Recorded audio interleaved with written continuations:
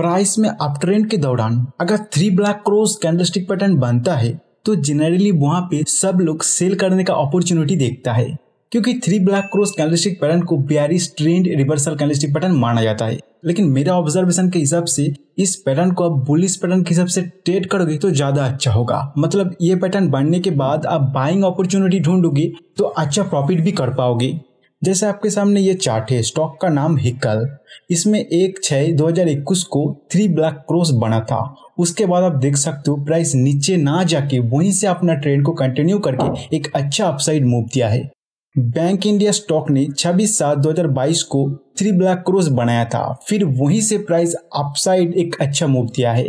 Titan stock ने 25 ग्यारह 2022 में ये पैटर्न बनाने के बाद वहीं से अपसाइड एक अच्छा मूव दिया है।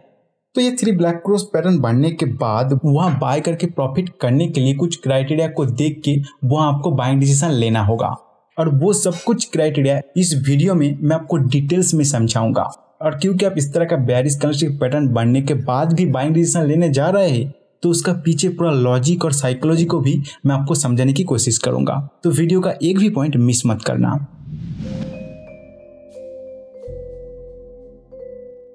इस कंसेप्ट के डिटेल्स में जाने से पहले थ्री ब्लैक क्रॉस पैटर्न क्या होता है, उसका बेसिक कंसेप्ट आपको क्लियर होना चाहिए। देखिए, आप ट्रेंड के दौरान लगातार अगर लोअर लो बना के थ्री बैरिस कैंडल बनता है और उसका लोअर साइड ना हो या छोटा हो तो उसे थ्री ब्लैक क्रॉस पैटर्न कहते हैं। अगर ये पैटर्न चार्ट के ऊपर आप ट्रेंड में बन जाता है तो तुरंत इसे बहुत सारे ट्रेडर सेल करने के सोचता है। लेकिन आप ट्रेंड के दौरान इस तरह पैटर्न बनने के बाद तुरंत सेल नहीं करना चाहिए। सेल कैसे करना है? आज का टॉपिक हमारा वो नहीं है तो उसका डिटेल्स में हम नहीं जाएँगे। तो इस तरह अप ट्रेंड में जब बायर्स प्राइस को कंट्रोल कर रहा था, अचानक लगातार तीन कैंडल में प्राइस को सेलर कंट्रोल करने लगा। ऐसा सिचुएशन में आपको नेक्स्ट कैंडल कैसा बनता है उसे देखना है। तो यहाँ नेक्स्ट कैंडल एक बुलिस कैंडल बन गया और इस बुलिस कैंडल में प्राइस को बायर स्ट्रांगली कंट्रोल कर लिया है। तो यहाँ जो सेलर प्राइस को स्ट्रांगली कंट्रोल किया था, वो इस प्राइस एरिया में आके फिर से अपना कंट्रोल खो रहा है। अभी आपको लेटेस्ट कैंडल का क्लोज को देखना है। अगर प्राइस इस कैंडल में प्रीवियस कैंडल का कम से कम मिड पॉइंट के ऊपर जाके क्लोज किया है तो आप बाइंग डिसीज़न लेने के लिए सोच सकते हो। उसके बाद आपको और भी कुछ क्राइटेरिया को देखना है। जैसे लेटेस्ट कैंडल में ten period moving average thirty period exponential moving average के ऊपर होना चाहिए। नेक्स्ट लेटेस्ट कैंडल या फिर उसका प्रीवियस कैंडल में से कम से कम किसी एक का भी body ten period moving average को टच कराना चाहिए। Next fourteen periods R S I latest candle में एट्टी के नीचे होना चाहिए। नेक्स्ट जहाँ से प्राइस को बायर्स कंट्रोल करना शुरू किया, उस एरिया में कोई सपोर्ट जोन होना चाहिए। ऐसे अगर ये सब क्राइटेरिया पूरा कर रहा है तो जहाँ से प्राइस को बायर्स अपने कंट्रोल लेना शुरू किया था, उसका थोड़ा नीचे स्टॉप लॉस रख के आप बाय कर सकते हो। इसके बाद इस स्टॉक में प्राइस कितना ऊपर गया, आप देख सकते हो। तो बेसिकली अप ट्रेंड के दौरान थ्री ब्लैक क्रॉस पैटर्न बनने के बाद अगर प्राइस को सेलर कंट्रोल नहीं कर पा रहा है तो उसका मतलब यहाँ जो सेल आया है, वो ट्रेंड रिवर्सल का सेलिंग नहीं है। कुछ ट्रेडर्स यहाँ पहले से बाइंग पोजीशन को सेल करके प्रॉफिट बुक किया है। तो उनका प्रॉफिट बुक करने के कारण जब प्राइस नीचे आ गया तो वो ट्रेडर्स कम प्राइस में प्रॉफिट बुक करना बंद कर दिया।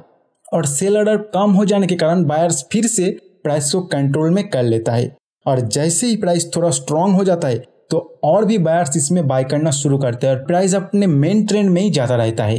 तो जो जो क्राइटेरिया मैंने आपको बताया, वो सभी का हेल्प से ये पैटर्न मतलब ये three black crows pattern reversal का है या प्रॉफिट बुकिंग का है, उसका अंदाज़ा लगा के आप इसको ट्रेड कर सकते हो। अब एक सवाल आपके मन में हो सकता है कि थ्री ब्लैक क्रॉस पैटर्न बनाने के बाद, अगर कोई स्ट्रॉन्ग बायर्स कंट्रोल कैंडल बनाए बिना छोटा छोटा कैंडल बना के कुछ ट्रेड करे तो उस सिचुएशन में हम क्या करें? तो ऐसा सिनेरियो में इस दौरान अगर कोई स्ट्रॉन्ग सेलर कंट्रोल कैंडल ना बने तो आपको उस चार्ट को वॉच करते रहना है। जब कोई स्ट्रॉन्ग बायर्स कंट्रोल कैंडल बन जाए और उस जगह पे जो जो क्राइटेरिया मैंने बताया, वो फुलफिल हो रहा है तो आप उस जगह पे भी बाय करने के सोच सकते हो। इंटरडे ट्रेडिंग के लिए इस सिस्टम को आप यूज़ करोगे फाइव मिनट या फिफ्टीन मिनट चार्ट के ऊपर। और शॉर्ट टर्म स्विंग ट्रेडिंग या पोजिशनल ट्रेडिंग के लिए आप यूज़ करोगे वन डे चार्ट के ऊपर। तो इस वीडियो को मैं यहीं पे समाप्त करूँगा। इसी तरह वीडियो से अगर आपको कुछ सीखने को मिल रहा है तो वीडियो को ज़रूर शेयर करना। आज फ़िलहाल इतना ही। मिलते हैं नेक्स्ट वीडियो में नए कोई कंसेप्ट के साथ।